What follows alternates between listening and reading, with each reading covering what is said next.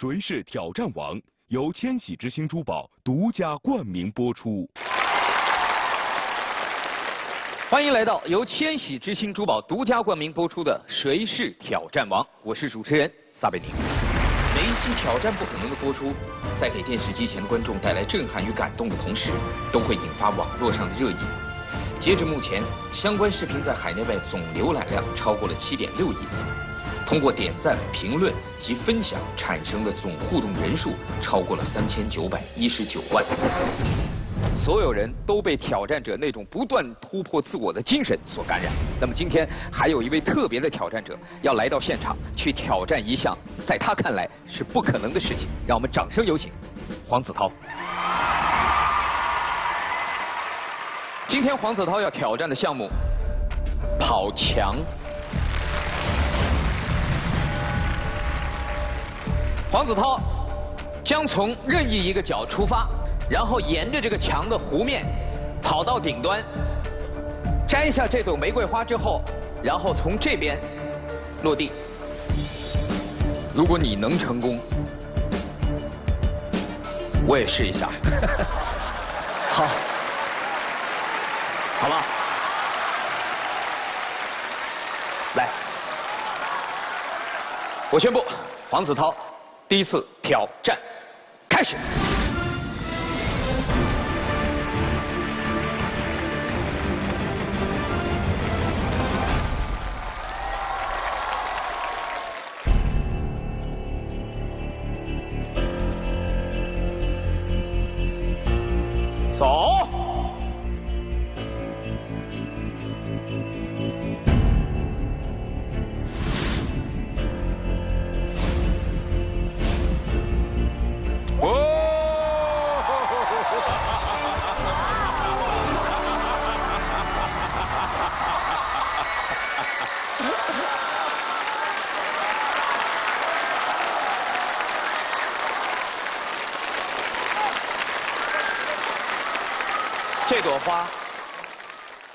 你现场，你随便自己走。这是肿么了呀？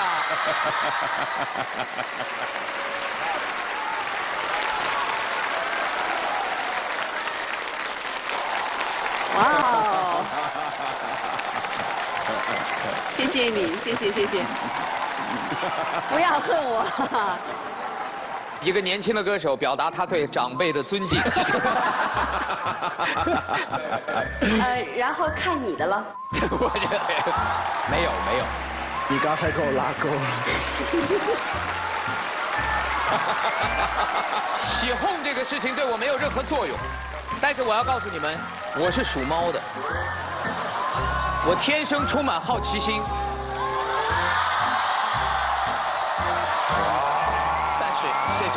谢谢，但是好奇害死猫。有没有什么话要说呢？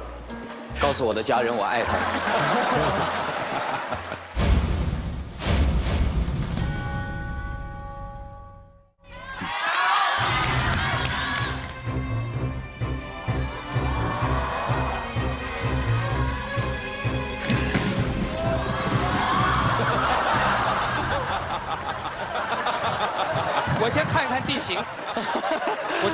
边比较好。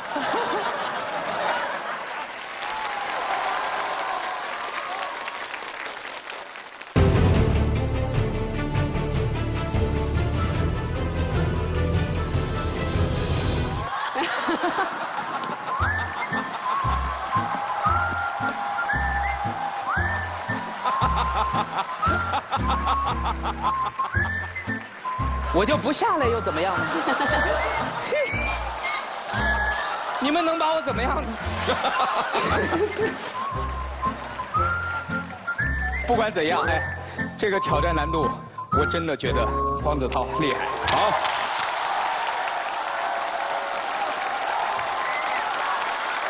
滑下来，滑下来，我们在底下。不行，这个角度滑不了。就滑，滑得了了。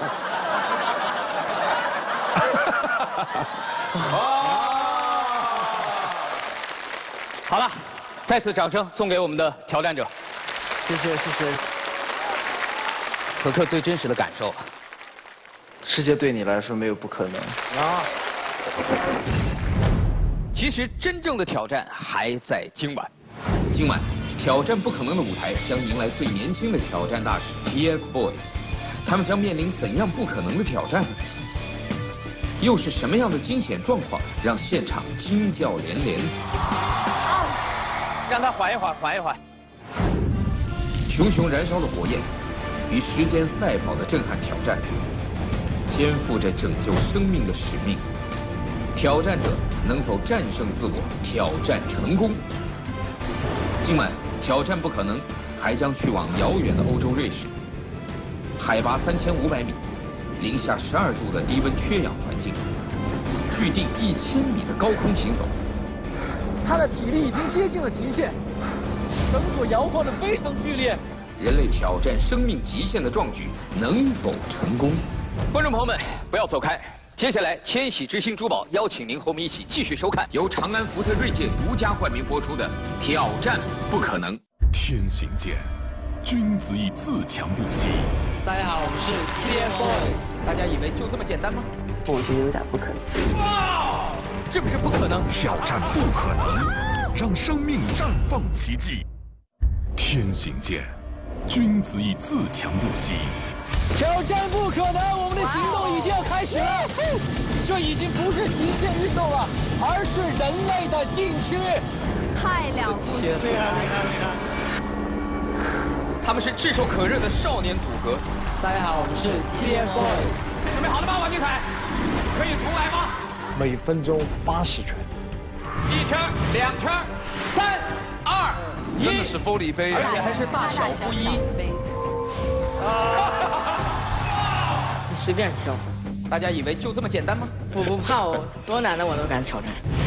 你是第一线看到生命的脆弱的人，可是你是更热爱生命。有什么样的挑战能够高于生与死的挑战呢？谢谢你们为国家、为人民做了这么大的贡献。挑战不可能，让生命绽放奇迹。有请主持人撒贝宁。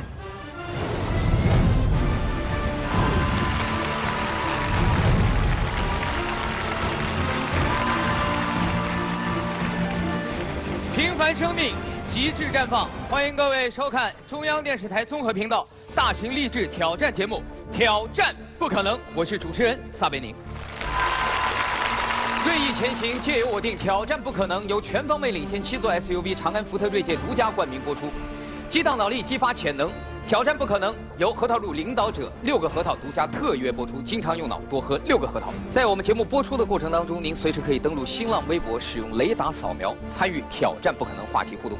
同时，您还可以打开微信，点击发现，进入摇一摇功能，选择电视，参与挑战不可能节目的互动，赢取奖品。大家看了我们的节目，看到了那么多不可能的挑战。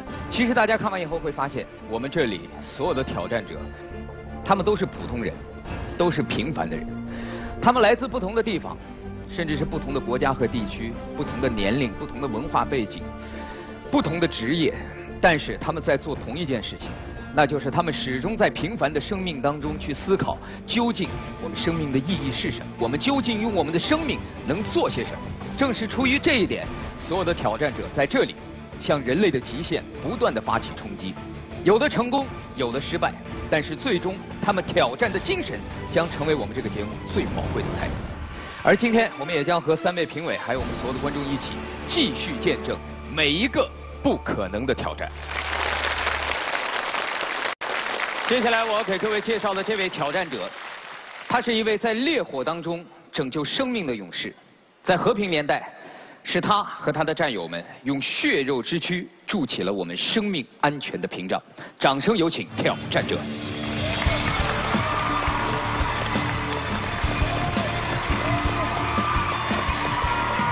你好，主持人好，欢迎来到我们的现场，给大家自我介绍一下。评委老师好，各位观众好，我是来自成都的一位消防员，我叫胡杨，今年二十六岁。你做消防员有多久了？呃，有九年时间了。九年了，哇，二十六岁。对。二十六七岁。十七岁。对，从我进入军校开始，我应该就是一名消防员了。哦，老消防员了，九年啊。这九年当中，你大概参与过多少救援？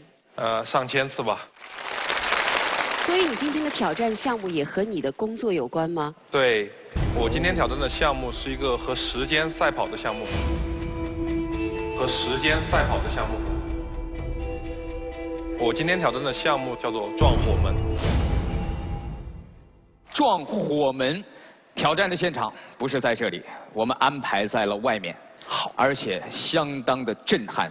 具体的规则，我们待会儿会在挑战现场为大家解说。接下来，我邀请我们的三位评委，还有我们的观众，我们一起到场外见证胡杨的挑战不可能。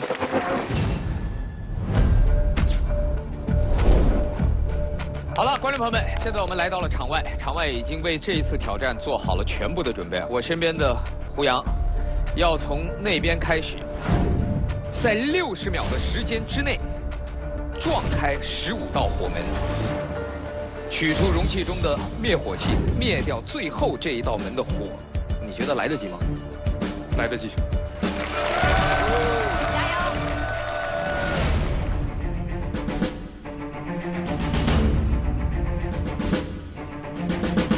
看着他坚毅的背影，觉得身边有这样的消防员，应该是觉得很踏实的一件事。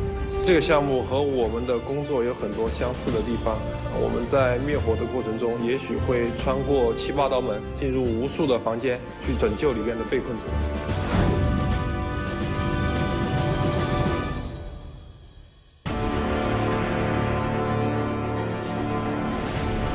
煤油的味道非常重。现在我们的挑战助理正在十五扇门的背后忙活着，门的每一个角都一定要让煤油浸透。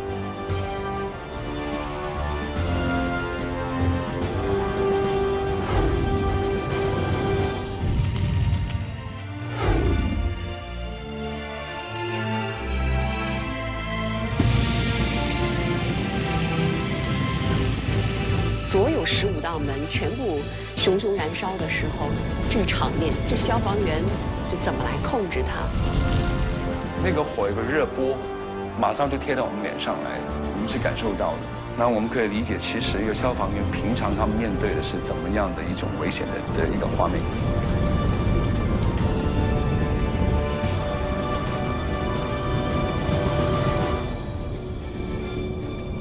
我只有一次机会。有的时候，我们就需要一次机会去拯救生命。好，挑战者已经完全做好了准备，我们的道具也已经准备完毕。现在我宣布，挑战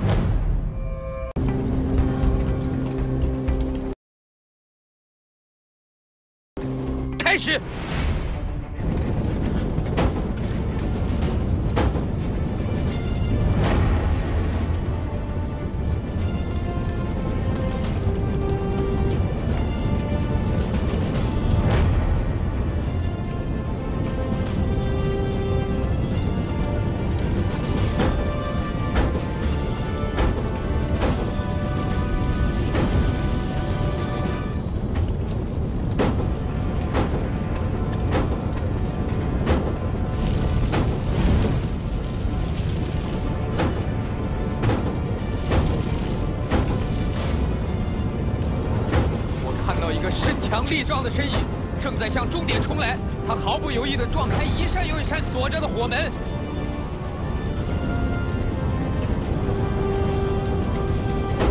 还剩下最后四扇，加油！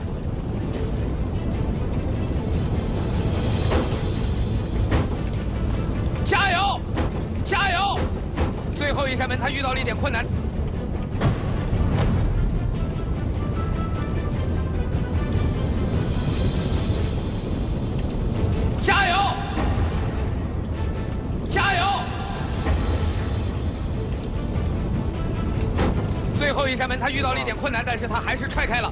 二十五秒，他已经击破了容器，拿出了灭火器。他现在需要做的就是打开灭火器，将最后一扇火门的火成功的灭掉。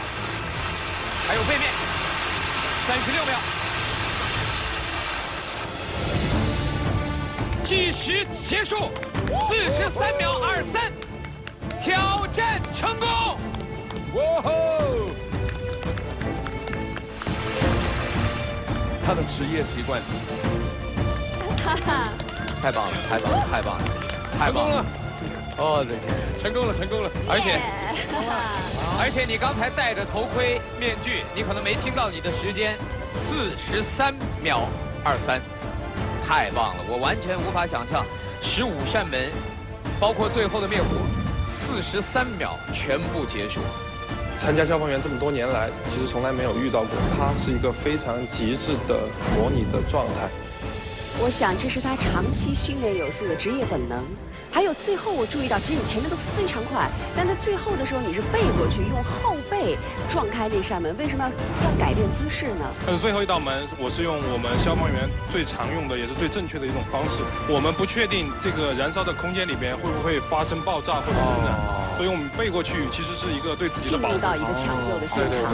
现场我们见证的是一个让我们震撼无比的挑战。那么究竟在这个挑战的背后，这样一个小伙子身上会有什么样的故事呢？我们回到演播室里，再详细的和他聊一聊。首先要祝贺胡杨挑战成功，今天真的是非常的漂亮。你做消防员已经有九年了，你遇到过最危险的情境是什么样的？离死亡就差一步。三年前的一次大火，是一个物流仓库的火灾。当我们进入火场的时候，它里面堆积的货品已经都熊熊燃烧了。当时我们会觉得有一些异样，所以我们就选择撤离出来。就在我们跨出这个仓库大门的一瞬间，整个仓库就塌了下来。就在那一瞬间。你为什么会要想到当一名消防员呢？其实我的父亲和我的外公都是消防员。哦，我从小就是在这样一个环境中长大的。啊，真的？他们也在现场观摩了整个过程。哦，是吗是吗？来，我们掌声欢迎胡杨的外公和爸爸。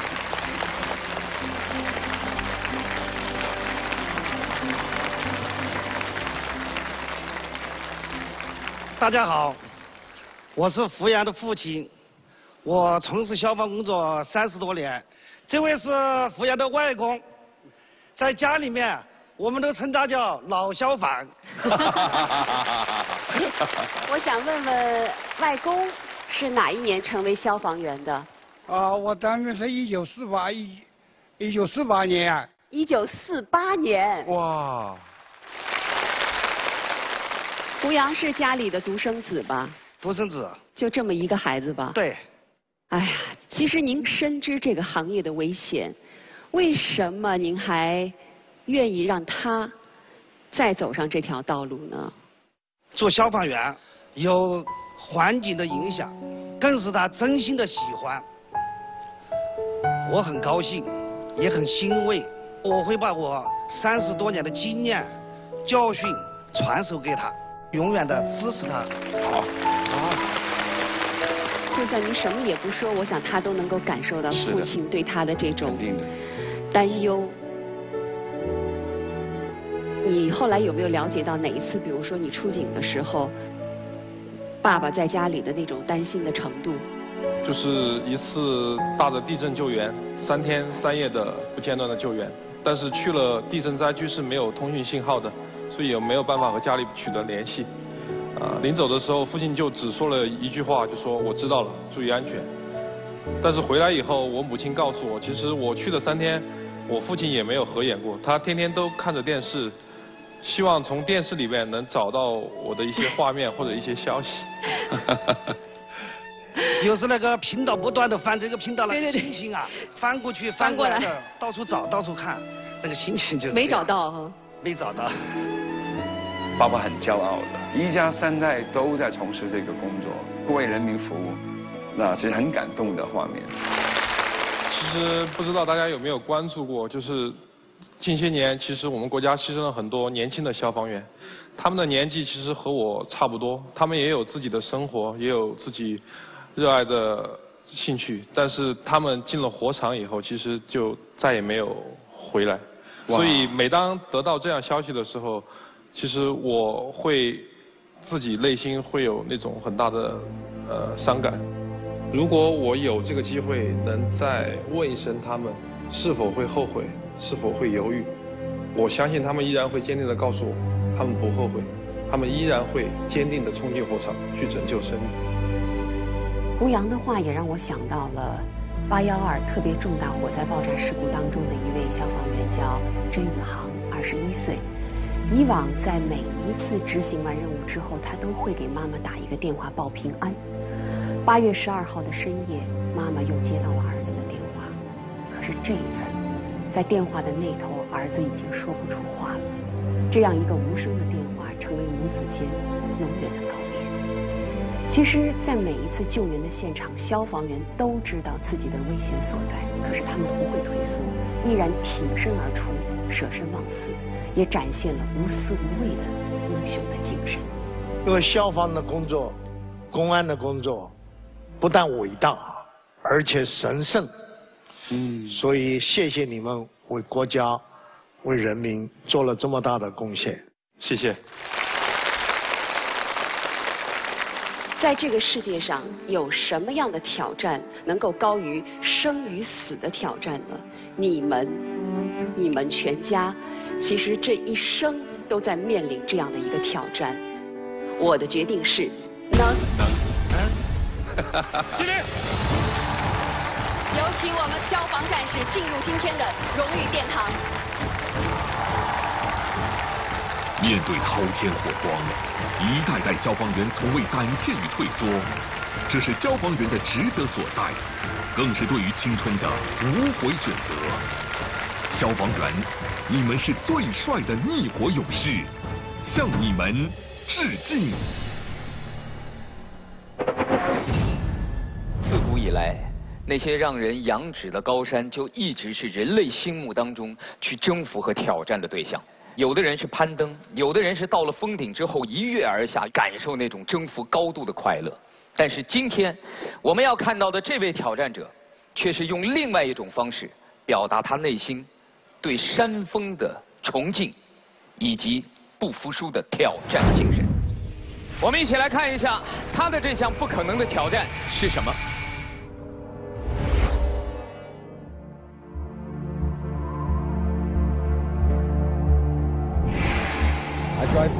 the world for challenge.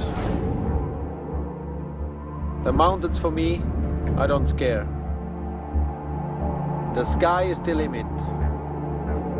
My name is Freddy Nock. I'm from Switzerland, from the famous family Nock. Attention, attention, boarding for licensed reporters. 挑战不可能行动已经开始了。 这里是瑞士圣莫里茨耶姆雷萨，这里有着险峻的山峰，吸引着来自全球各地的极限运动爱好者。今天我们在这里更是要见证。人类历史上一项伟大的奇迹。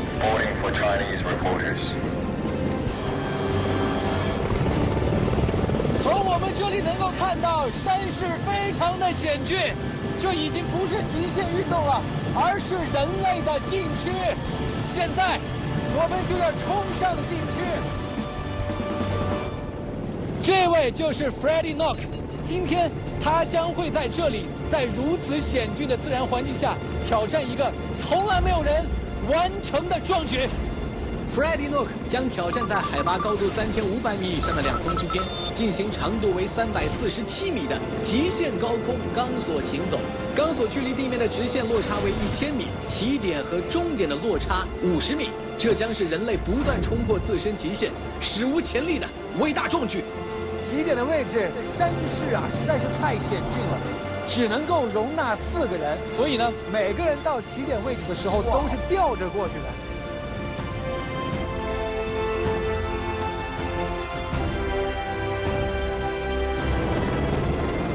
对面，诺克正在做最后的准备，马上，他将会踏上这趟人类历史上绝对之前不敢有人挑战的一个项目。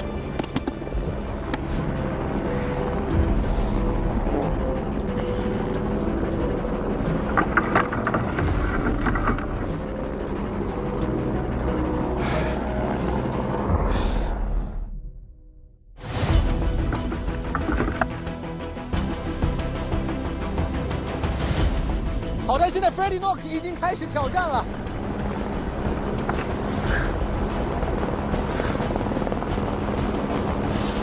海拔三千五百米，气温只有零下十二度，低温缺氧的环境，再加上山间的阵风，诺克手里拿着很重的平衡杆，正在钢索上行走。如果成功，诺克将在今天打破人类最高海拔钢索行走以及钢索距离地面直线高度最高的两项世界纪录。相信这次接近极限的挑战，将激发出他内心最深处的无限可能。诺克，加油！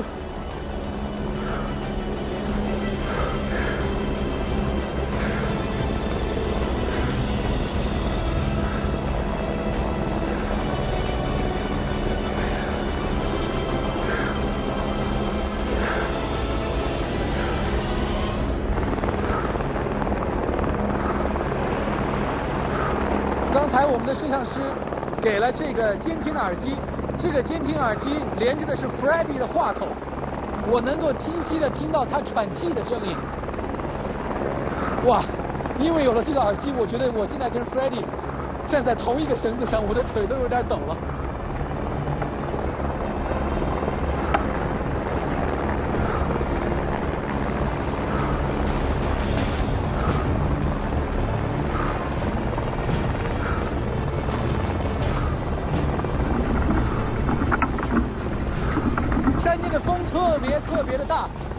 这个地方看，绳索摇晃的非常剧烈。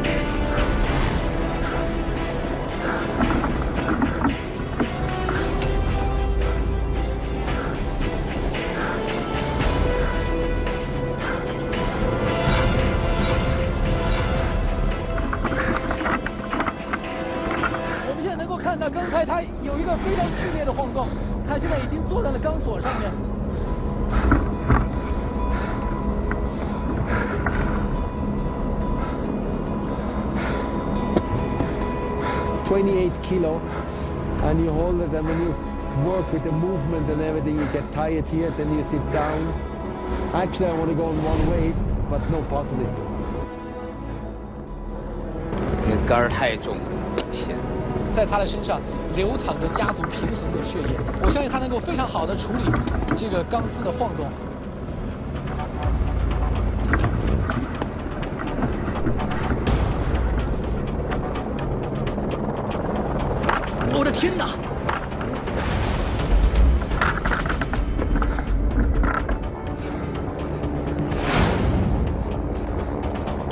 诺克现在又坐下了。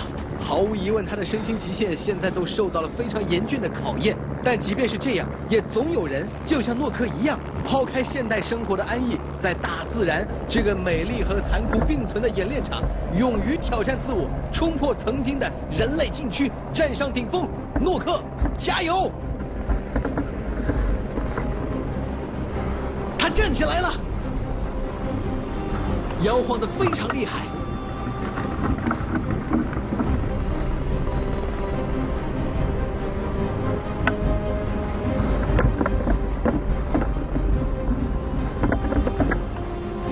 走起来了。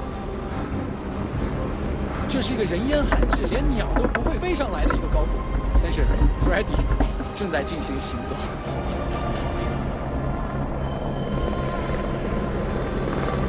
现在我们能够很清楚地看到 Freddy 他的步伐非常非常的缓慢，因为每一步他都跟晃动在做着斗争。这一次他非常的谨慎。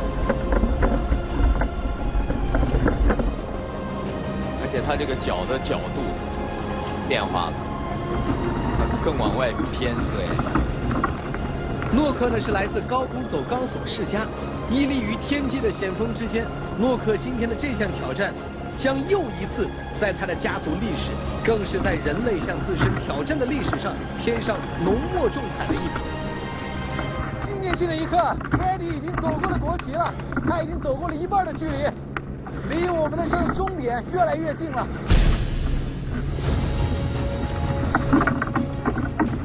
晃动非常非常的剧烈。When you walk, everything is moving. So when I fall, I catch, I practice a lot.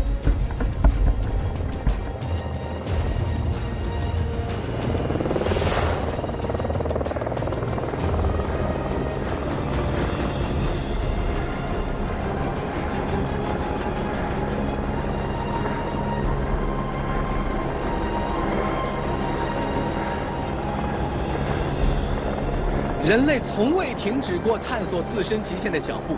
Freddie Nock 在三千五百米海拔的两峰之间挑战高空钢索行走，就是要打破人类对于高空的恐惧，突破人类平衡的极限。他继承了他的家族一代又一代的人所积蓄的经验，要在今天向世界证明人类的力量拥有无限的可能。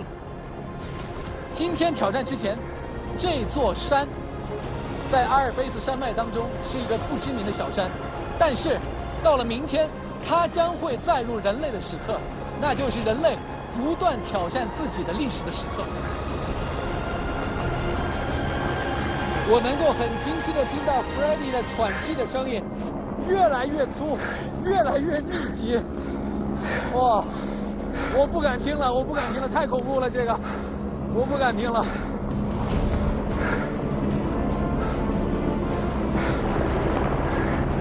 这个位置我们能够看到 Nock 还有最后的一百米，加油！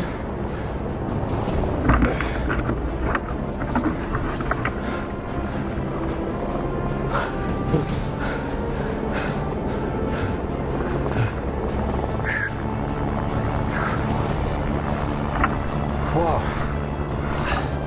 上面 Puls auf 300，hey，wenn ich auf 400.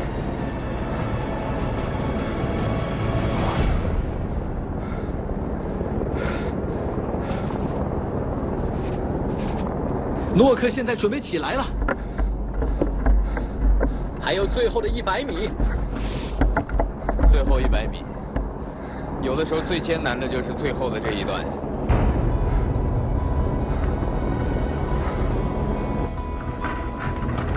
好的，他起来了。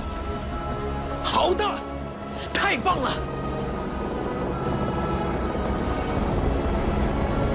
他这个钢索还有一个坡度，他也没力了，他有五十米的落差呀，将近十十几层楼高啊！他的这个钢索的高，对对对对对对对对对。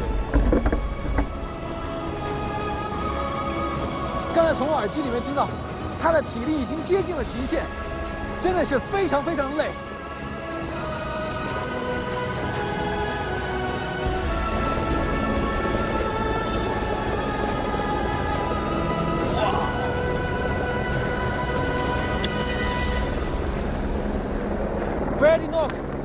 下十米不到的距离，就完成了这次人类的壮举。最后的五米，三米，两米，哇，回来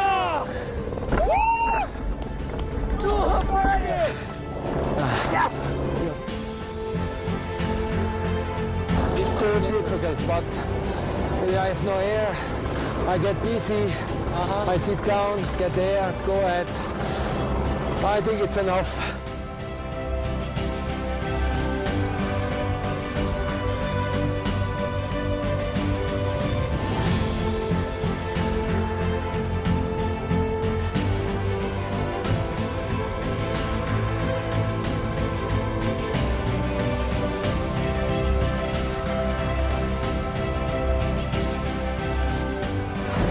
father makes the same to me. One day we, you will be a high wire walker. I know it's in my blood, you know, it's inside. I feel that. And I hope my son get my courage. And he keep going, if that's what I do, and he love it like I do.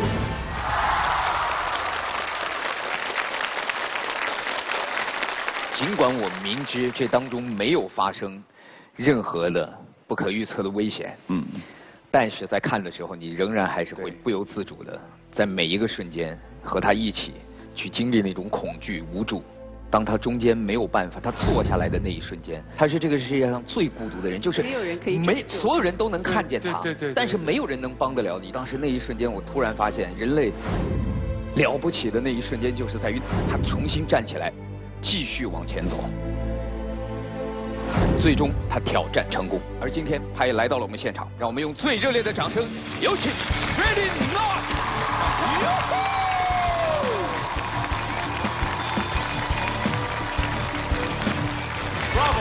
晚上好，晚上好。Thank you, thank you very much. Welcome to the show. 他说他这个挑战是根植于他的血脉当中，他的血脉到底是一个什么样的血脉，决定了他要做这样的挑战。Ja, ich, ähm, ich bin äh, im Zirkus, also ich bin von einer alten Hochseilfamilie seit 1717. 一七一七年，Siebte Generation, ja. Und ich habe meinen Vater beim Trainieren zugeschaut und ich war ungefähr, also ich war vier Jahre alt, wo ich auch probieren wollte und er hat immer mit mir gespielt. Und äh, die Generation hat das mir so weitergegeben und ich mache halt das noch verrückter. Ich probiere immer besser zu machen. 我突然想起来，刚才我们看到片子里面一个小有一个跟他男孩亲吻的小很可爱的小男孩，那是他儿子吗？ Ja, 那 also 个 mein, 么么哒的。mein Sohn ist auch hier. 哦，对，这是他儿子。我这哪一个？Und, er- und, 太可爱了，慢一点，慢一点，slow down，slow down。OK，阿通阿通，哇，太可爱了！哦，you're so beautiful。Ni hao. 你好，Yeah. 今年多大呀？对对，今年多大了？Also im Oktober, 3. Oktober, vier Jahre. 我想问问爸爸，是不是每一次去挑战的时候都会带着儿子 Ja, 来 ja. 见证 Ja, 呢？真的吗？Das ist sehr spielerisch. Ne? Man, man fängt schon an, spielerisch zu machen und äh, er macht viele Sachen schon. 呃，今天啊，诺克的儿子来到现场，没干啊。Ich weiß, ich, jetzt hat jetzt. 对他，他刚才说了，他说想给大家表演一下他的平衡能力。哇哦！我们一起来见识一下，好不好？ Also ich denke, er kann auch einen Rekord machen hier mit drei Jahren und sieben Monaten. 好， Halle, hopp. Like Spider-Man. Langsam. Fuß gerade. Gerade. Und ich bin hinter dir. Gut, Hand raus. Schön laufen. Komm, ich bin hinter dir. Schön führen laufen. Hopp, gang, gang, gang. Schau aufs Seil. Schau für auf die Stange. Schau führen. Komm. Schön. Führen laufen. Führen laufen. Komm. Gut, schön führen laufen. Fuß gerade heben. Komm, Fuß nicht auf ihn schauen. Schön. Nicht, nicht, auf, 他自己了。nicht auf ihn schauen. 这是一个 Da 非常 schau, 自 da. 恋的走钢丝的小 Okay, 男孩。nochmal. Nachher tun wir Gumpen. Very, Nachher very tun wir 自恋。Gumpen. Nachher tun wir 他 Gumpen. 看到他自己以 Schau 后，führen, 被他 schau 自己 da, 帅的 da, 走不动了 da.。哎，注意脚下。Nicht dort schauen. Da schauen. Da. Achtung, Achtung. Ziehen. Warte, ich tue jetzt loslassen. Dann schön leinig, schön leinig. Excellent. Okay, schön zu mir. Komm, komm. Ich bin da. Nein, nein, nein. Schön. Nochmal, nochmal. Noch eine, noch eine. Schön. Nein, los, los. Auf die Hand. Schön. Und hab. Ja, hab. Ja, hab. Ja, Kompliment. Ja. 你认为他将来也一定会像你一样，成为一个很了不起的 Ich denke ja, also ich hoffe, also ich Ein Stolz, wenn er kommt und man sieht, was passiert mit dem Jungen nachher. 哎，刚才他们在说话的时候，我在研究他手里拿的这个东西。这是不是刚才 Freddie 背在身上的那个东西？ ah, gut beobachtet. 谁能告诉我这是什么？头盔呀、头 Also ich wollte drei machen. Also die Höhe ist 1000 Meter Fall, ist 3500 80 Meter über Meer und ich wollte, das war die höchste Lauf, plus ich wollte blind gehen. 盲走。 Ja, aber mit blind, das war zu gefährlich. 其实今天啊，诺克到中国来，一个是跟我们分享他完成瑞士雪山挑战的这种激动和快乐，另外他也带了一点点他认为的遗憾，就是当时没能完成这个盲走，所以他跟我们的节目组沟通说，有没有机会能在中国的土地上来完成一次他的挑战？好，谢谢。就在我们谈话期间，谢谢。我们在现场的场外已经搭建起了一个看似不可能的装置，而这个装置将在今天晚上和我们一起共同见证诺克在中国的挑战。挑战者将戴上全遮蔽头盔，人盲斜走钢索。钢索总长四十米，终点处高二十八米，钢索与地面的夹角呈现三十八度。这是对挑战者在失去视觉参照的情况下，如何控制自身运动，保持身体平衡的一项极致考验。在刚开始呢是三十八度，但是到了顶上是超过三十八度，是个很难的挑战。戴了一个完全密不透风的一个头盔，要去完成一个那么陡峭的一个钢索的挑战，太不可能了吧？小伙子，爸爸要去挑战了，你有什么想对爸爸说的？No. Are you ready? I'm ready. Okay. Good luck.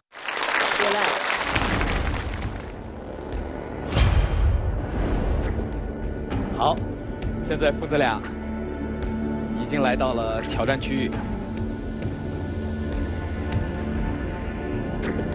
准备好了吗？好，我们看到挑战者现在戴上了面具，全封闭式的头盔。头盔卡住的声音严丝合缝。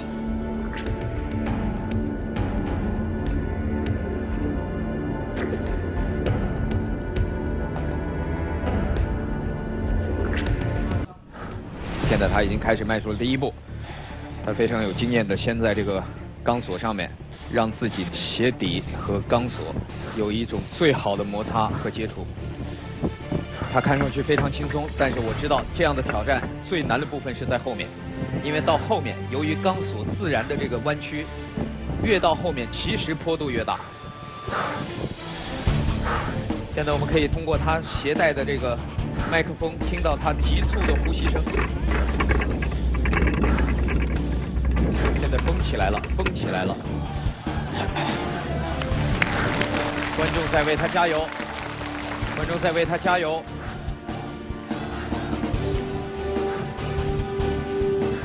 我觉得这个难度一点都不比他在瑞士的高山上的难度要低啊，因为今天这个坡度太大了，三十八度的夹角。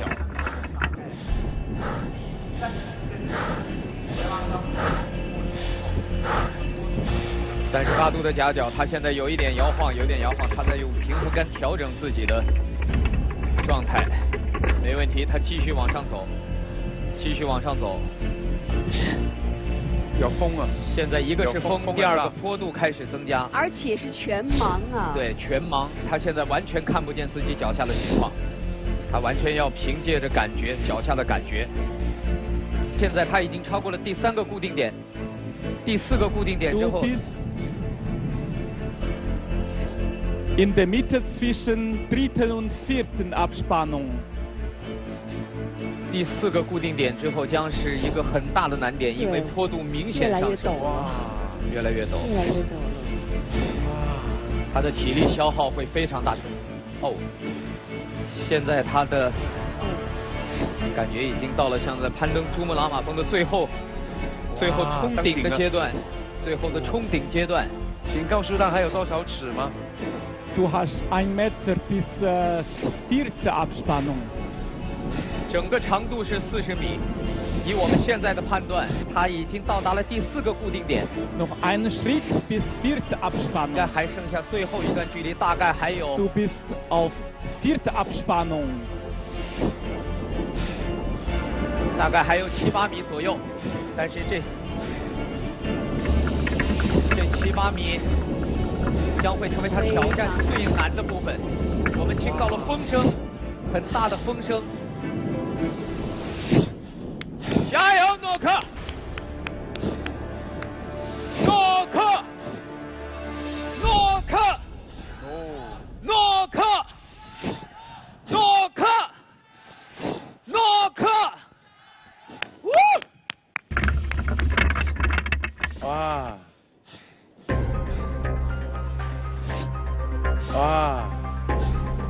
在是对他体力的最艰难的考验，他已经到了最后的极点。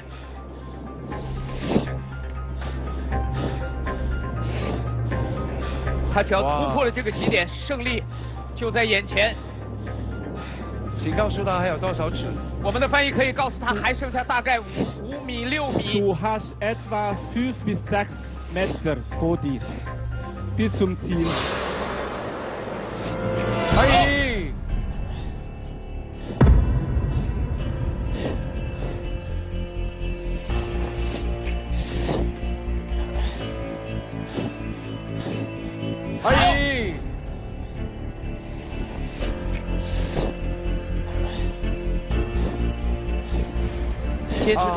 保持平衡，保持平衡。他现在要，哎，太滑了，太滑了，没关系，他可以停下，调整一下。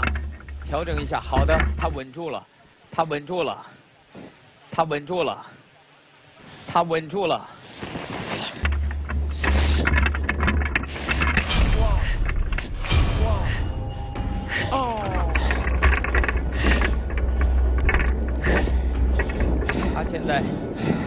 他现在整个人趴在了钢索上，因为他确实没有办法在他。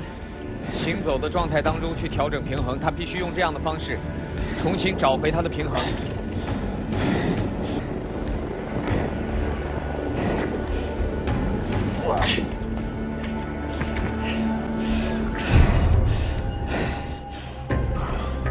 现在这样的状态，他已经很难再重新找回平衡了。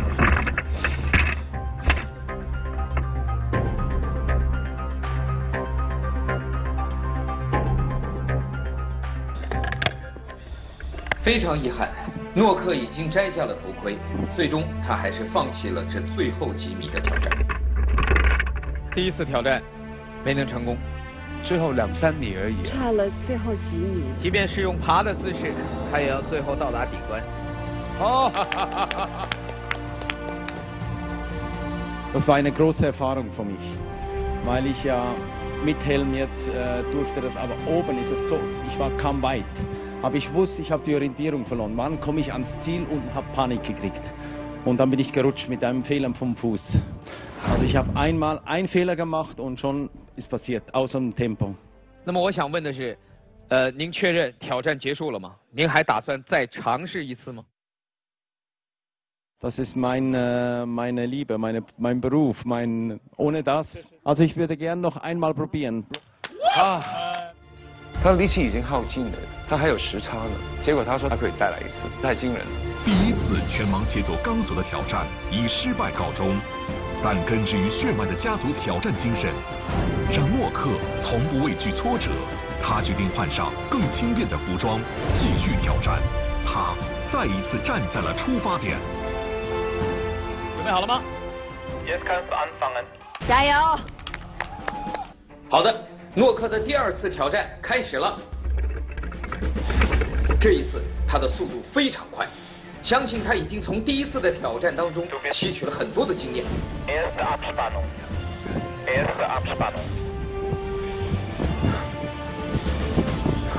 好的，已经通过了第一个固定点。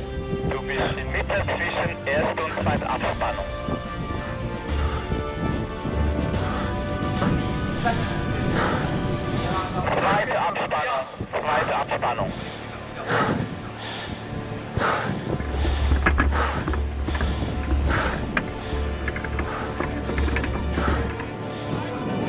Du bist in der Mitte zwischen zweiter und dritten Abspannung. 有一些摇晃，没有关系，稳住。诺克现在什么都看不到，他只能凭借脚下的感觉，还有手中的平衡杆来调整自己。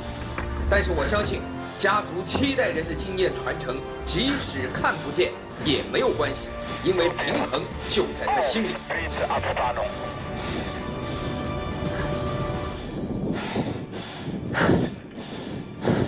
诺克的呼吸声越来越急促了，他拿着的平衡杆有二十八公斤，在三十八度的钢索上行走。第二次挑战无疑对他体力是一个极限的考验，已经接近第一次挑战出现问题的点了。越往上，钢索会越陡，会超过三十八度。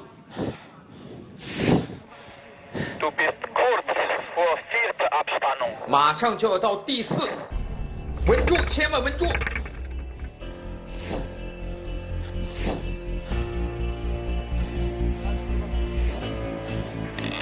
Du bist kurz vor vierte Abspannung. Du bist auf vierte Abspannung. Du bist auf vierte Abspannung. 好的，他已经成功的通过了刚才最艰难的第四个固定点，现在他已经向着最后一段大概七八米的距离发起最后的冲击。我们希望这一次他能够成功。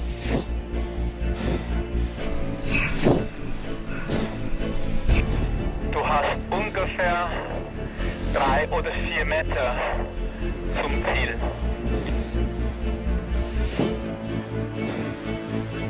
在刚才滑倒的地方，他已经成功的过去了。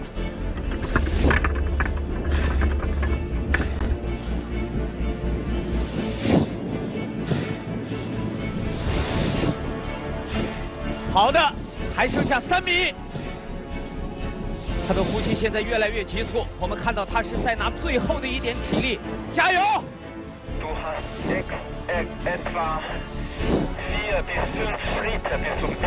加油！加油！加油！还剩最后几步，三、二。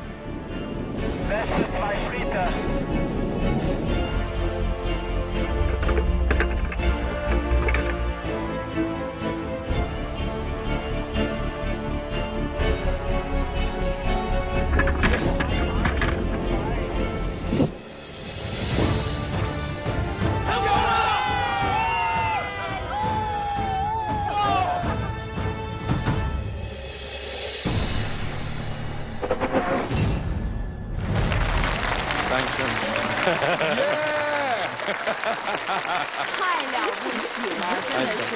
OK, thank you, thank you, thank you, thank you. 而且第二次应该说整体还是比较顺利的。Ja, war besser auch wegen äh, Hören und so, wegen der Hose und war much better. 你有没有计算过自己创造过多少个世界纪录啊？Äh, 19. 19, das wäre der 20. 二十个。Yes. 那你觉得你是不是你们这个家族七代人当中最优秀的一个？Ich habe mich einfach, ich sag mal, alle waren gut, aber ich habe mich natürlich verbessert in dieser Sache, wo heutzutage was es gibt. 说的真好。很谦虚，很谦虚。所以对你今天的挑战成功，能否进入荣誉殿堂，最终我们三位的决定是能。Dankeschön. 在自然天地间，与内心对话，回归生命本源。从诺克的极致挑战，我们感受到生命所蕴含的无限能量。相信在小小诺克的心中，也埋下了父亲带给他的勇于挑战的种子。人类就是这样代代相承，不断突破与前行。我们都知道，人类有一些知觉是非常重要的，比如说我们的视觉、我们的听觉、我们的嗅觉、味觉等等，这是我们感知世界的重要通道。而今天我们的这位选手将要在这个舞台上挑战我们人类听力分辨的机制。掌声有请挑战者出场。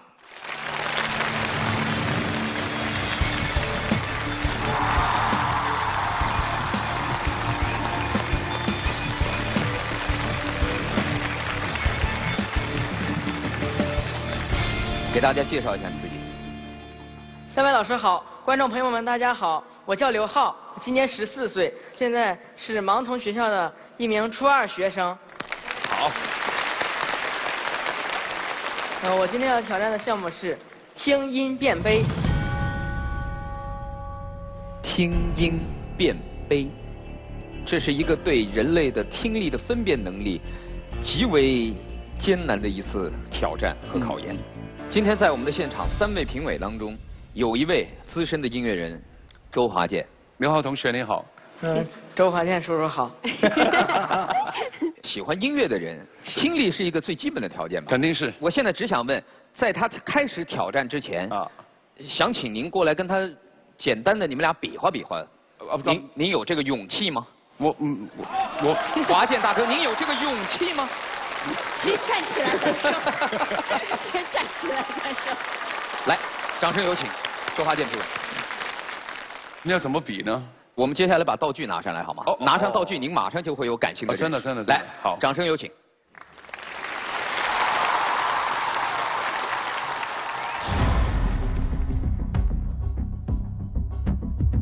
哇挑战现场准备了三十个装了不同水量的玻璃杯，挑战助理将通过摩擦杯沿发出声音，来考验周华健的听力和记忆能力。我可以找其中一位挑战助理来给您演示一下，是是是这个杯子怎么发出声音。好，保持安静啊。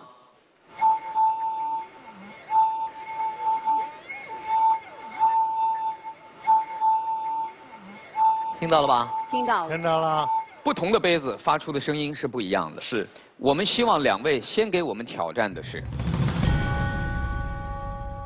先把三十个杯子都听一遍之后，您可以记住按序号每一个杯子的音高。华健，你现在回来还来得及，回来吧。我们已经把华健评委逼到绝路上了。接下来，掌声有请两位挑战开始，好不好？好。来，两位，请移步到我们的挑战台，然后给华健评委戴上眼罩。接下来，周华健和刘浩将记下三十个杯子摩擦发出的声音，之后由评委随机挑选杯子，他们通过听到的声音辨别出杯子的序号。好，现在开始，从一号开始发声。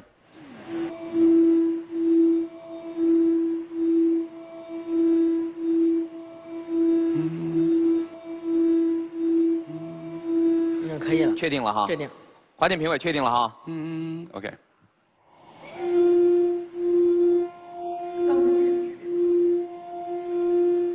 可以了，我可以。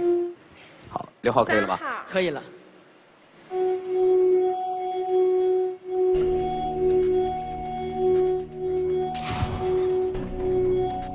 可以了。虽然三十个杯子在摩擦时发出的声音各有不同，但是在一般人听来，相同音区的杯子发出的声音并没有太大的差异，很难进行分辨。作为音乐人的周华健能否分辨出不同杯子的声音，并且记住它们对应杯子的编号，完成这次挑战呢？可以了，可以了，可以了，可以了，可以了，可以了。周华健叔叔可以了吗？我可以了，谢谢。可以了。是没有方向的，不可能会知道他是第几号的声音，是不可能做到的。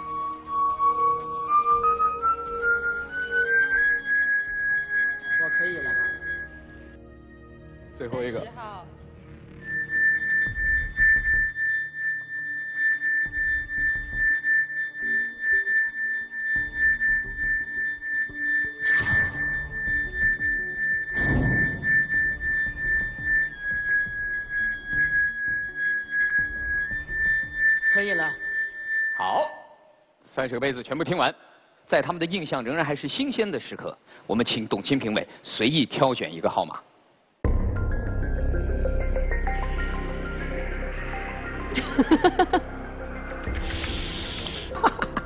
好，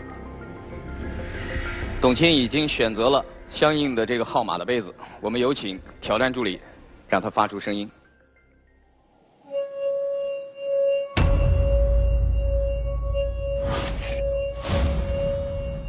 刘浩先不要说啊，哎，我可以先说一个大概吗？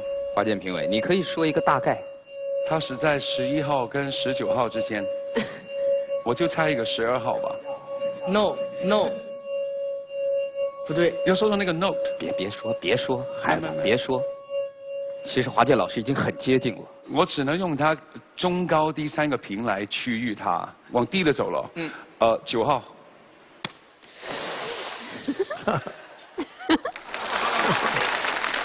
呃，刘浩，你的答案是十号，十号。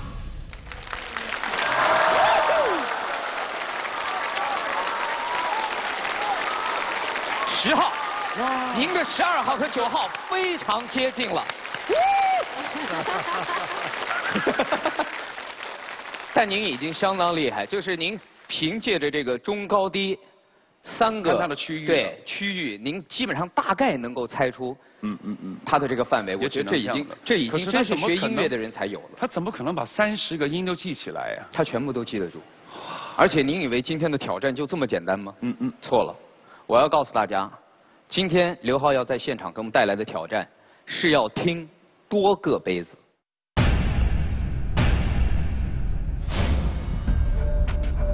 挑战规则：本次挑战分为两关，第一关选出五个杯子同时发声，挑战者完全答对五个杯子的序号，则进入第二关，辨认同时发生的六个杯子。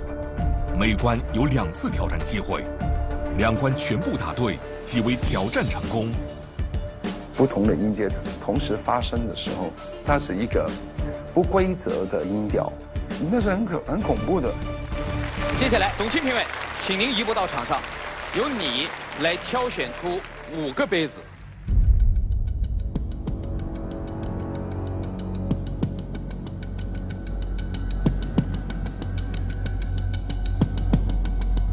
五个，好，谢谢。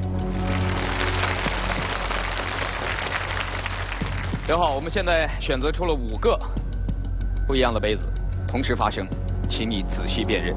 准备好了，告诉我。准备好了。好，有请挑战助理上前。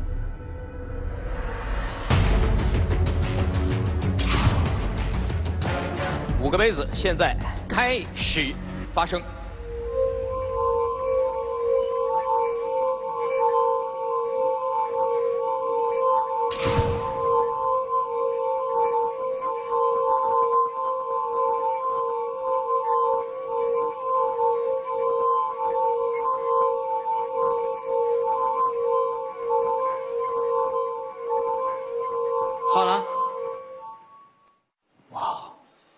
挑战开始。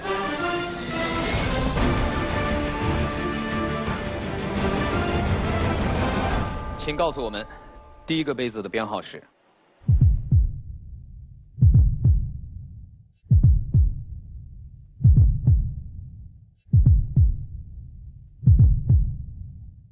七。第二个杯子的编号是九。哦。第三个杯子的编号是十八。一路唱上去。第四个，他一路唱上去的。二十一。最后一个杯子的编号是二十二。哎，他每说出一个号码，对我的这个后脊梁骨一阵一阵的发麻的感觉，就被吓着了。我真是觉得，嗯太厉害了，这个耳朵。挑战顺利通过。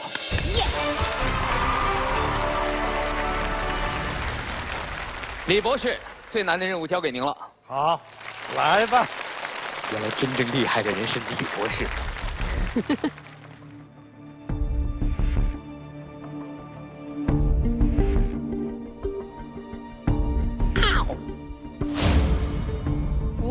吧？博士，您确定吗？那我不太懂音乐这个东西啊，这这个难度大哈。没有，最主要是李博士看起来很慈祥，其实他蛮阴险的。这么说，刘浩很紧张他不知道李博士干了些什么。我不怕，我多难的我都敢挑战。哦，哇，他多难的他都敢尝试，这就叫挑战不可能。李博士，我们共同见证一下，来，好好好，来来来，准备好了吗？准备好了。来，挑战助理上前。东东过来，过到那一边去。越抹越黑。你看那个画面，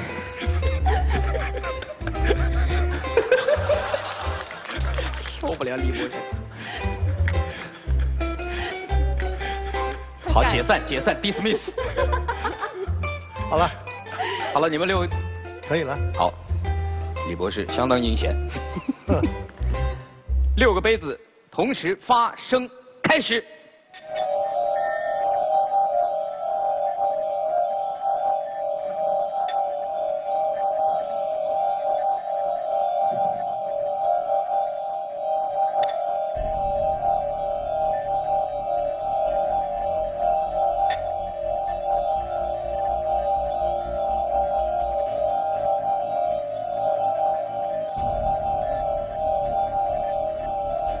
为高音跟低音其实是很好分的，你马上知道它哪哪四个音，可是当它很相近的时候，你很难分。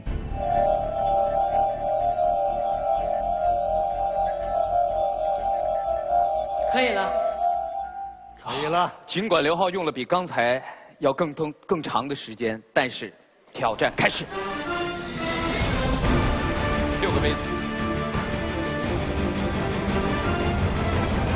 第一个杯子，第一个杯子，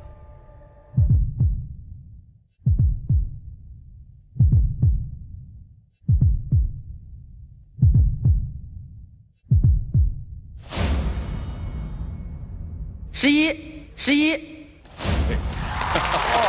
第二个杯子，十二，第三个杯子，十三，第四个杯子，十四，第五个杯子，十五，第六个杯子，十六，十六，十六。厉害厉害厉害厉害吧？厉害！你看您您这个十一到十六，本来以为很难，就是这还是没难住他。难不住他。但十一到十六这这几个连着号的排在一起，是不是比之前跳跃的要难的难一些？嗯、对于我来说都不难。哎呀，哇！但是我我开始有疑问了。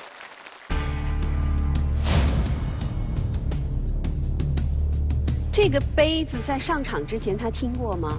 还是说这个排列组合他从来不知道？好狠！这个问题问得好。这样，刘浩，我问你，如果现场我们把一到三十号这个杯子的顺序打乱，重新让你听一遍一到三十号，你还能做到同样的事吗？让你把三十个杯子再听一遍。没关系，因为我只是有一个疑问。如果你说对这个，如果这个顺序三十个杯子的排列顺序，他已经无数次的练习过了，那可能会降低难度，确实如此，有可能吗？嗯，没试过，我试试。嗯，他要把所有的号给我打乱了，再让我听，嗯，可能是有点困难。他即便觉得难，他也说我试试。然后我觉得这种态度，首先就让我们非常赞赏。不管你的挑战项目本身的难度怎样，可是我们最终想看到的，无非是人愿意去挑战的一种精神。你愿意试试吗？嗯，愿意。哇哦！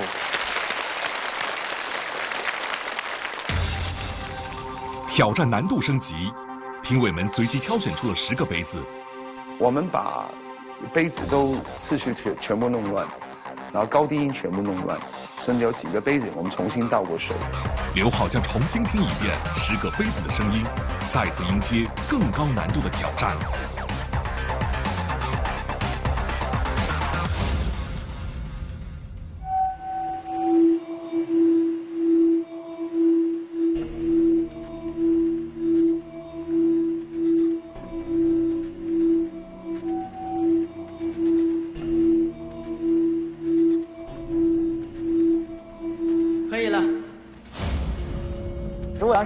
让我单独听音的话，呃，什么音儿都难不倒我。二号，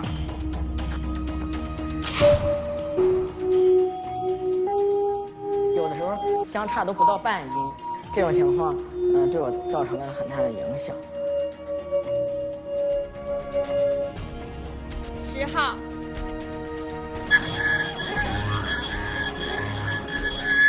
可以了。好，你现在可以要求，比如刚才哪一个音你没太听清楚或者没记住的，我们可以再给你一次机会，把这几个号码再听一遍。几号？八号。八号。八也是，三八也是特别八号。三和八同时。三和八不行是吧？太接近了。三和八同时摸一下。这个这个太接近了。太接近。你看他已经盯盯出哪几个音出来了。你不能这样子啊！这个是好像从洗手间接来的。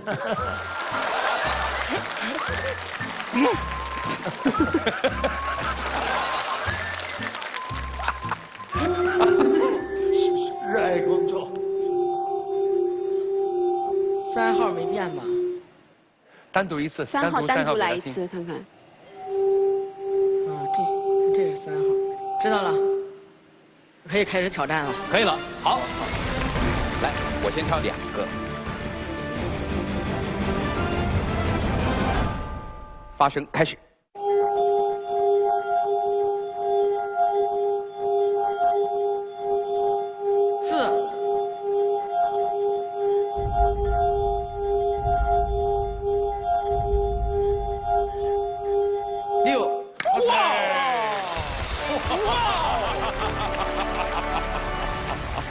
厉害厉害厉害啊！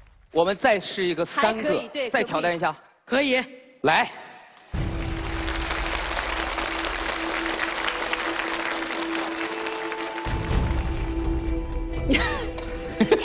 就，啊，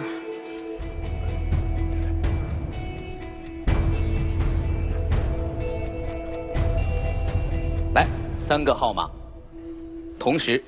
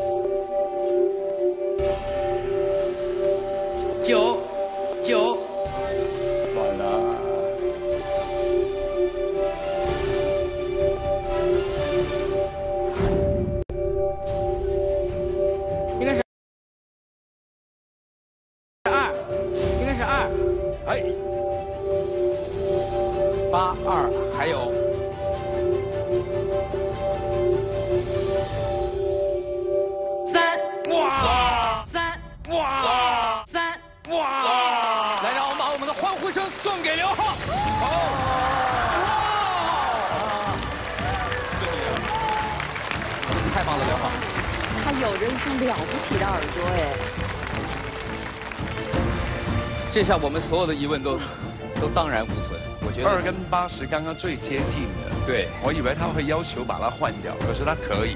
就是他已经在自己积累的过程当中能达到今天这个高度，已经相当不容易了。再加上我们又突发的奇想，增加了他的难度。我觉得我们应该为孩子的勇气鼓鼓掌。谢谢大家。呃，刘浩的挑战已经成功，我将到荣誉殿堂。去等待他，加油！太棒了！你的耳朵这么厉害的听觉是天生就有，还是说是后天培养出来的？就是在我三岁的时候，我妈妈给我买一个玩具电子琴，然后我就把我听过的儿歌用那个玩具琴弹出来了。好好好。哦，你听一遍就能把它弹出来吗？嗯。那你真的是在音乐上有天分呢。对呀。呃，我六岁的时候，我妈就带我来了北京，七岁学的钢琴。妈妈对呀，妈妈今天来了吗？来了。刘浩的妈妈在哪里？和大家见个面好不好？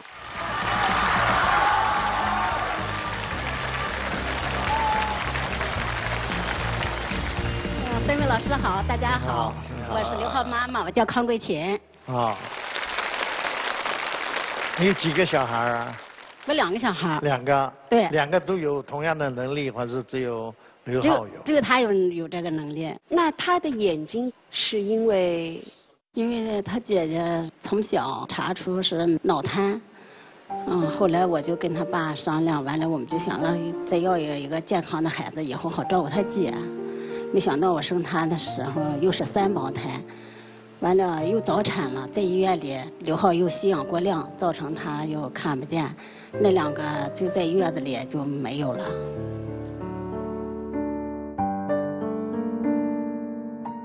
当时查出他说他看不见，完了我当时就等到三岁的时候，我给他买个玩具电子琴，他就玩着玩着用这个玩具电子琴就把他听过的儿歌就弹出来了。后来我就想给他找个老师，让他学学，也许是以后就是谋生的一个手段吧。是什么让你下决心要带他到北京来学钢琴呢？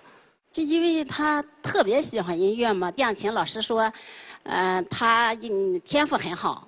如果说在音乐方面有很好的发展，他说你要转钢琴，你去大一点的城市找一个会盲谱的钢琴老师，因为要想学的就是好一点，你必须会谱子。六岁来到现在也已经有快八年了，快八年了。嗯，你们住哪儿？住什么样的地方啊？哎呀，我们一来的时候住的那个房子是太太小了，特别小，就是那个像用石棉瓦搭的那种房子，放一个单人床就没地儿了，也没有窗户。后来做一个电视台的节目，在南京给郎朗演出。完了，南京一一家琴行给他一架钢琴，运回这架钢琴来，我很犯愁，说这个 这小屋装不下呀。完了又，嗯啊，反正费了好大的劲儿吧，又租一个三百五十块钱一个月的一个房子，反正这个房子也是很小，能放一架钢琴，也是放一节一一个单人床，也就没地儿了。下雨它还漏雨啊，就是大洗衣这我说吧，就是嗯，夏天的时候，嗯，那个因为这个房子特别简陋嘛，然后嗯。漏雨，然后那个我妈就拿一个大盆，嗯，塑料的盆，然后给我嗯遮雨。我弹一个小时，我妈就在那举那个盆举一个小时，然后嗯那个时候嗯晚上在我睡觉的时候，我妈还要给我翻译盲谱，白天做饭嗯陪我练琴，然后送我上学。她只好晚上在我睡觉的时候，她才可以有时间给我翻译盲谱。有时候一夜都不睡觉。我第二天早晨起来了，我妈还在那弄铺子，所以我就感觉我妈特别辛苦，嗯，我就特别感谢我妈妈。哇！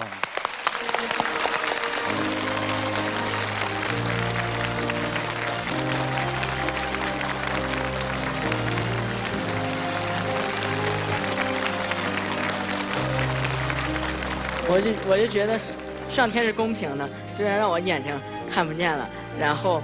嗯，让我给我一个特别这么好的妈妈，所以我也感觉 妈妈也好，妈妈也高兴。我就感觉特别幸福。哇！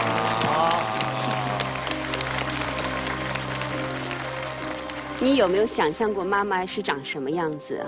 妈长得特漂亮。有没有想象过？你是对的。我想每一个人在场的。都深深为了刘浩你今天的表现感动了。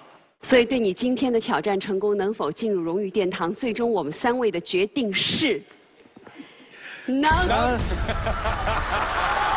谢，谢谢。虽然我们身体有残疾，但是我们身残志不残，只要我们一起努力，没有不可能。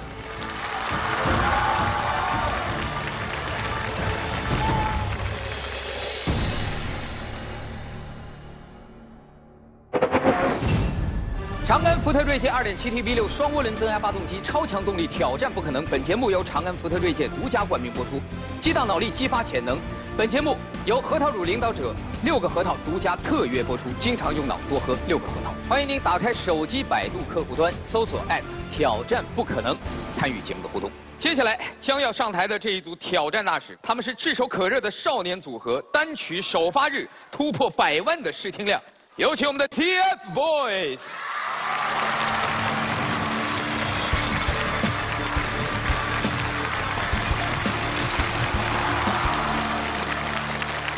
大家好，我们是 TFBOYS。人生需要挑战，年轻没有极限。挑战不可能，努力一定行。每一个人都应该实现属于自己的不可能。好。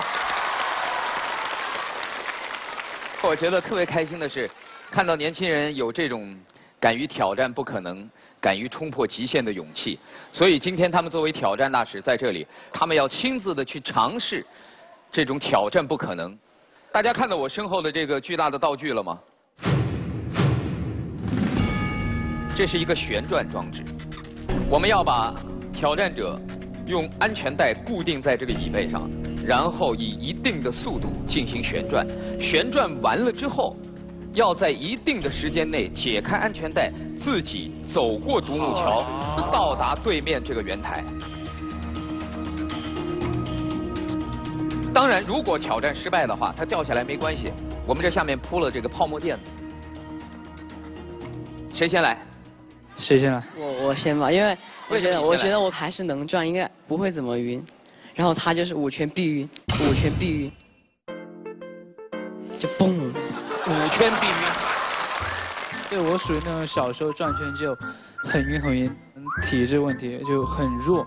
哦，容易转晕。那你呢？我觉得我们两个应该算还好一点。还好。千玺呢就是压轴的大 boss 嘛。那你们俩先开始。好不好？好好对好，我们掌声欢迎他们现在走上挑战台。这个项目考验的是人类平衡能力。人体的平衡系统由视觉系统、前庭系统和本体感觉系统三部分组成。内耳的前庭感受器是人体平衡系统中最主要的感受器官。普通人在遭遇高速旋转后，会引发前庭眼球反射，造成天旋地转的眩晕感。宇航员与空乘人员都要经过相关的抗眩晕训练。而身为普通人，TFBOYS 的成员们能否克服生理反应，挑战成功呢？首先，我们要尝试的速度，每分钟六十圈也就是一秒一圈，一秒钟一圈然后转三十圈在五秒钟之内解开安全带，开始行走，好吗？做好准备了吗？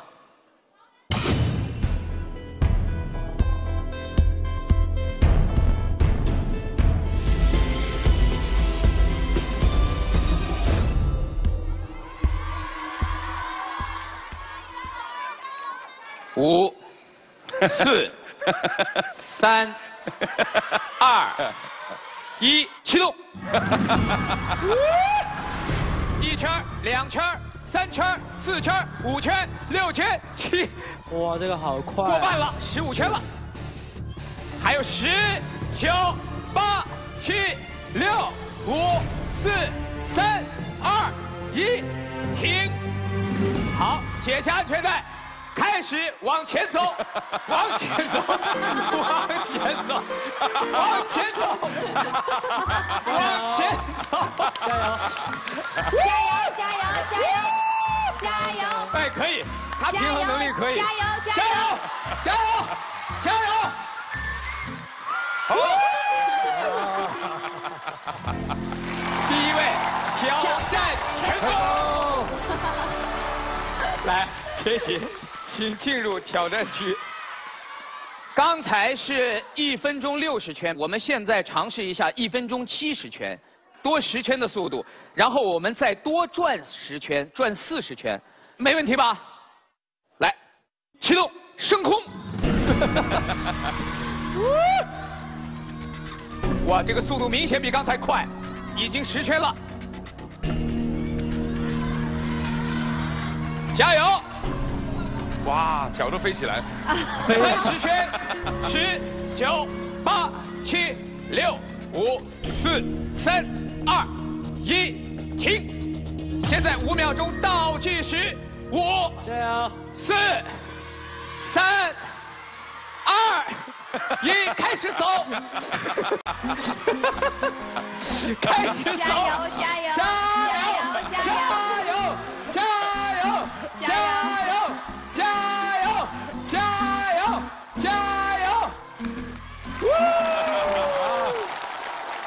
来，队长。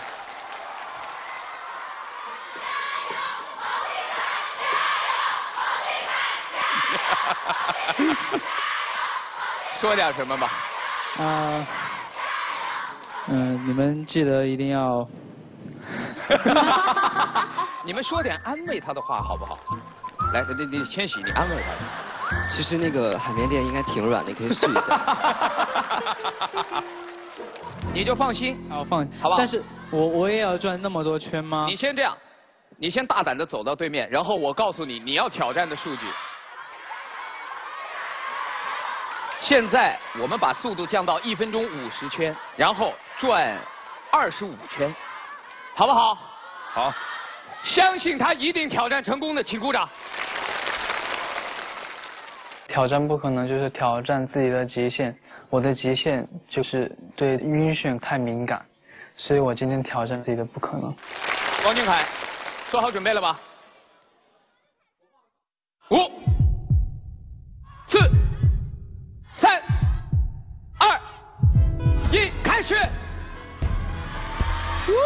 一、二。三、四、五，开始转的可能两秒钟我就已经不行了，脑子一片空白。十六，哎，二十五圈还没到呢，才十六圈，怎么回事？机器 坏掉了。没关系，王俊凯，你先缓和一下，你先缓和一下，调试好了重启。不是王俊凯害怕这个机器，是这个机器害怕王俊凯。可以重来吗？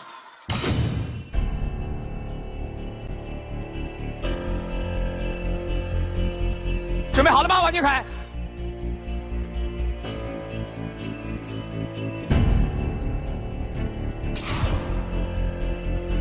人生需要挑战，年轻没有极限。可以重来吗？挑战不可能就是挑战自己的极限。我的极限对晕眩太敏感，所以我今天挑战自己的不可能。这就叫挑战不可能。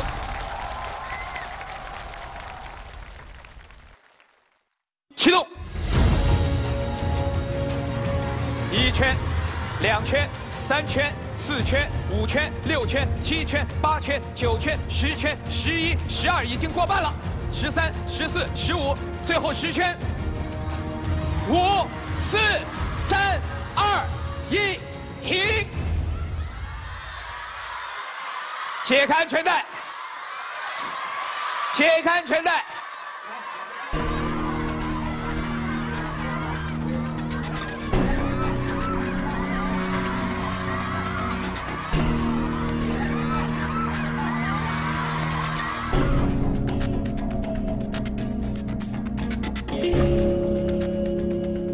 生需要挑战，年轻没有极限。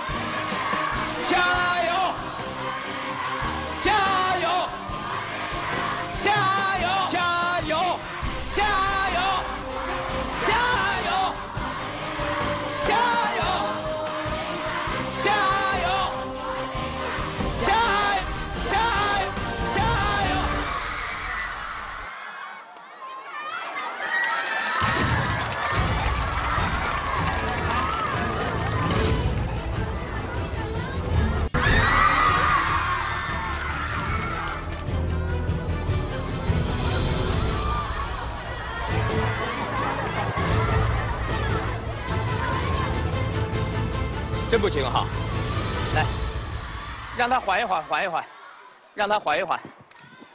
来，我们把掌声送给他，他真的，真的，真的是是在挑战自己的极限。有些人对这个晕眩是特别敏感，像我也是的，根本转不了，一转就不行。所以要让他要要要让他自己调整过来，他那个耳蜗要要自己调整过来。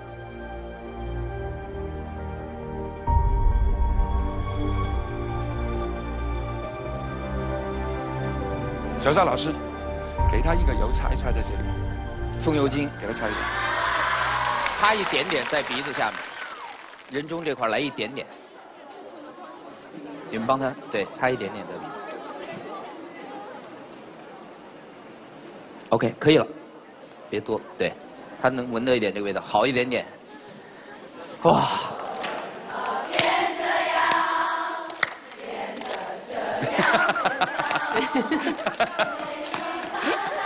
对，躺下，躺下欣赏。我怎么变这样，变得这样倔强？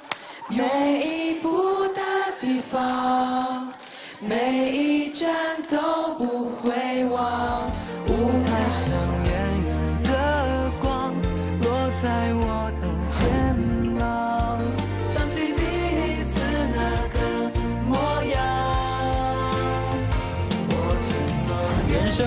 挑战，年轻没有极限。用这灿烂时光，绽放不一样的光。就算黑夜再漫长，风景全被遮挡，抬头就有一片星光。好，谢谢谢谢，感觉好一点了吗？好一点好一点。想对你的这些观众们说什么？嗯、人生需要挑战，年轻没有极限。谢谢大家。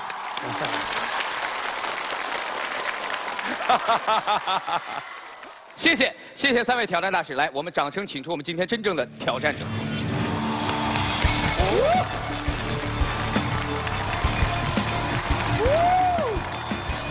哇哇，美女！主持人好，你好你好李老师好，你好你好三位帅弟弟好。大家好，我叫赖晶晶，来自福建厦门，然后现在是一名幼儿舞蹈老师，哦，舞蹈。刚才三个小伙子在挑战的时候，你什么感觉？觉得他们特别的棒，因为这并不是他们的强项，然后能做这项挑战真的是非常不容易。好。那么作为你的强项，请听好，挑战规则：挑战者要在离地两点七米的起点圆台上，以每分钟八十圈的转速千玺，就比你的速度还要再快十圈，然后旋转三百六十圈。好。旋转停止以后，限时十秒走到对面的圆台，否则挑战失败。明白了吗？萨老师三百六十圈是不是多报了一个零啊？没有，没有。王俊凯，你觉得他能挑战成功吗？我觉得能，因为年轻没有极限。谢谢谢谢，说的太好了。你现在是复读机吗？一按那个键就到那句话。让我们一起来见证这样一项不可能的挑战吧！来，加油！加油！谢谢谢谢。年轻需要挑战。每分钟八十圈，这速度很快了。再加上三百六十圈，而且在十秒钟之内要走过去，所以这是不可能的事情。开始吗？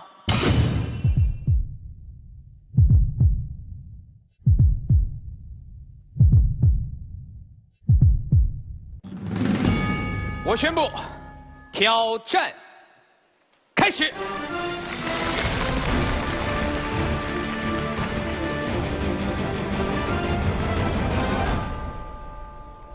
他面带笑容，是睁着眼睛，睁着眼睛，是睁着眼睛。哇，他是哎，他睁着眼睛睁着转。眼睛转。一般在这种情况下，刚才你们三个人好像都是闭着眼睛，对吧转？了转了五六圈，睁不开了。睁不开，转到后面你是想睁开眼睛都很难。对了，萨老师，我之前听说过一种转转圈不晕的方法，就是把头就是一直看着一个地方。这是叫舞蹈当中的留头。留头对对对对，芭蕾舞演员就是他转一圈，啪，他头会留在。对对对，就是就大概是这个意思。赖晶晶的特点是越转笑得越开心，她现在的笑容已经不是微笑了，而是大笑。我觉得到三百圈以上她会开始狂笑。赖晶晶，你现在还能听到我们讲话吗？能啊，我天，你还能回答问题？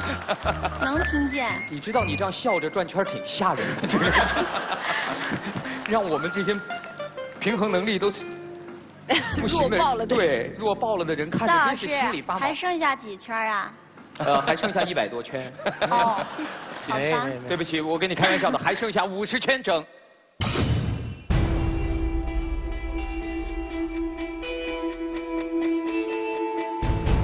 好，还剩最后二十圈。十、九、八、七、六、五、四、三、二、一，计时开始。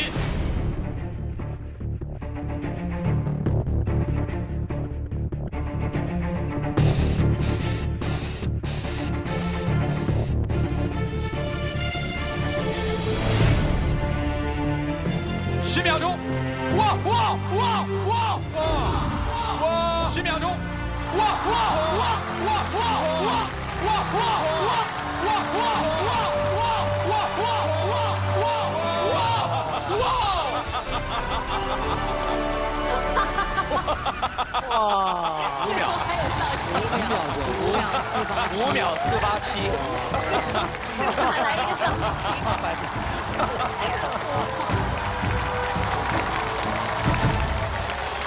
你是要气死王俊凯吗？这 是王俊凯装作看不懂的样子。你装成看，天哪，你太可怕了！而且最后他不是走过去的，是 跑他是一路这样跑过去的啦啦啦啦啦，就是 不是，而且你看他现在的状态，你的什么器官有别于常人是吗？就你的那个耳朵里的那个，不知道哎。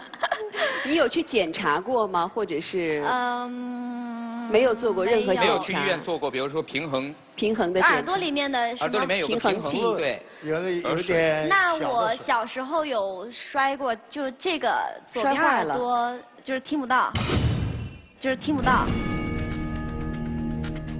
你的左耳是听不到的啊，右右耳现在也听不见吗？对对。小时候摔倒那会就是是。原因吗？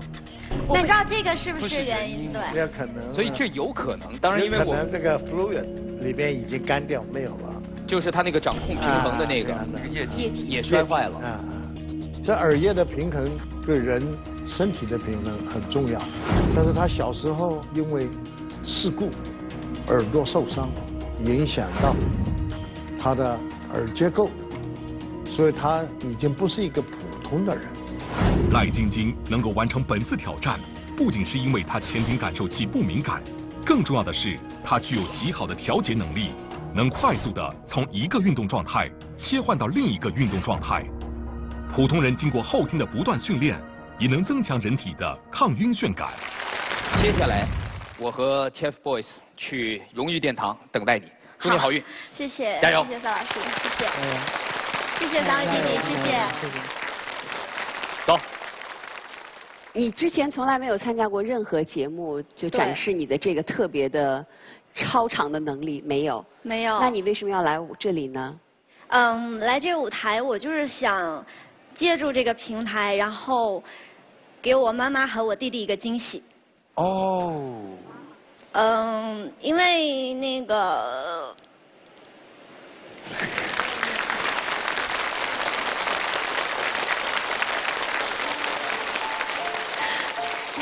慢慢来，慢慢来，慢慢来。因为我爸去年六月份的时候肝癌去世，所以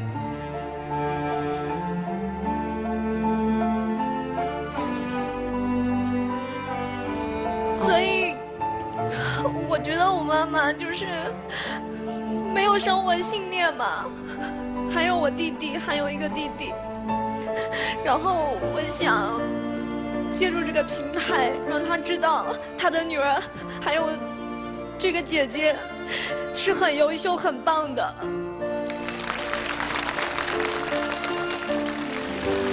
因为我不想让他们那么累，我希望希望他们能知道我这个小小的身体隐藏着大大的能量。是的。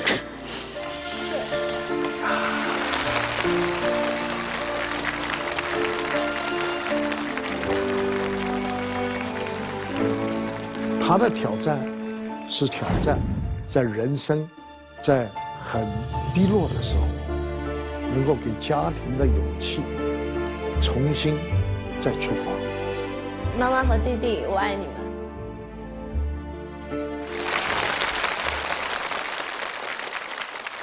我今天已经观赏到你有一个超越常人的一个很巨大的能量，然后听到你的故事很感动，很感动，特别是孝顺，它也是另外一个很巨大的一个能量。我今天给你一个能。谢谢，谢谢大家，有请赖晶晶进入今天的荣誉殿堂。扎实的基本功，强劲的心理素质，赖晶晶超越人类抗眩晕能力的极限，完成了这项不可能的挑战。她不仅挑战了自己的极限，我们相信她更是父母的骄傲。让我们用热烈的掌声迎接赖晶晶进入荣誉殿堂。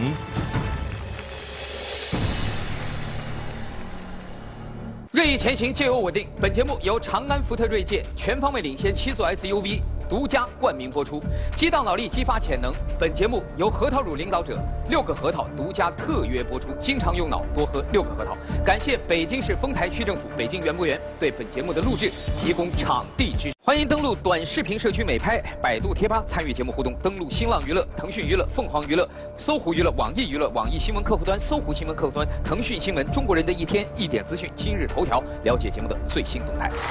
平凡生命，极致绽放。感谢收看我们的挑战不可能，下周再见。